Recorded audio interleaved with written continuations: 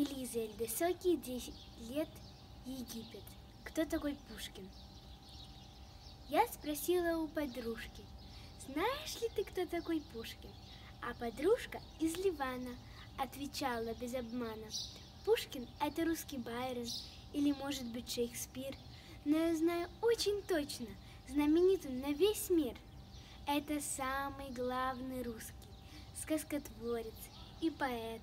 И своим большим талантом знаменит он на весь свет.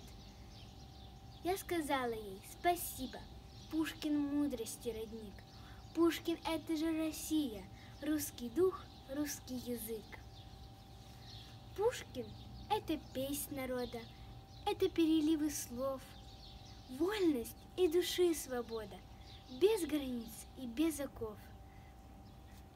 Пушкин – это птица в небе, это кот, что на цепи, это и царевна-лебедь, это и богатыри, это сказки, это были и поэмы, и стихи, все, о чем мы не забыли, все, что в сердце сберегли.